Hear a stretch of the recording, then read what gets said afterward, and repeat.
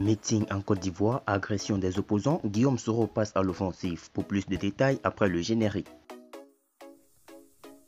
Avant de commencer, abonnez-vous à la chaîne et activez la cloche de notification car cela va vous permettre de ne plus manquer les prochaines vidéos. Let's go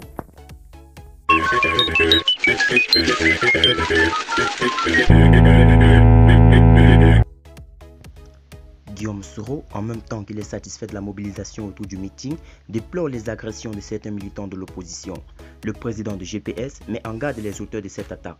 Guillaume Soro, cela ne restera pas impuni. Samedi 10 octobre 2020, les partis majeurs de l'opposition ivoirienne se sont retrouvés au grand complet au stade de Félix Houphouët-Boigny pour protester contre la candidature à un troisième mandat de la Centraman Ouattara.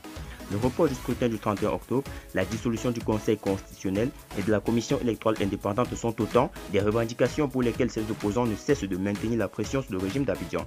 Plusieurs semaines durant, les leaders des formations politiques ayant appelé à ce meeting se sont livrés à une vague de mobilisation de leurs militants et sympathisants pour la réussite populaire de leur manifestation. Guillaume Soro, président de Génération et Peuple Solidaire à coup de nombreux tweets, n'a cessé d'appeler tous les partis politiques et mouvements de soutien qui lui sont proches à participer massivement à ce meeting. Aussi, au jour J de ce grand rassemblement, l'ancien président de l'Assemblée nationale s'est enthousiasmé de la réussite populaire de ce meeting. Je suis un homme soulagé et heureux en constatant l'exceptionnelle mobilisation de l'opposition ivoirienne, et ce, malgré les agressions à l'arme blanche dont les auteurs sont, selon l'ancien patron des forces nouvelles, des proches du pouvoir.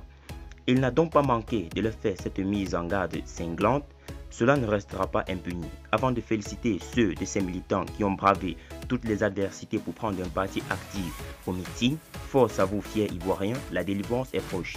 À trois semaines de l'élection présidentielle, la tension est encore vive entre les acteurs politiques ivoiriens, même si les autorités ivoiriennes rassurent que ce scrutin sera apaisé et que la communauté internationale entend accompagner le processus à la date constitutionnelle, les indicateurs de la situation sociopolitique ivoirienne sont pourtant alarmants.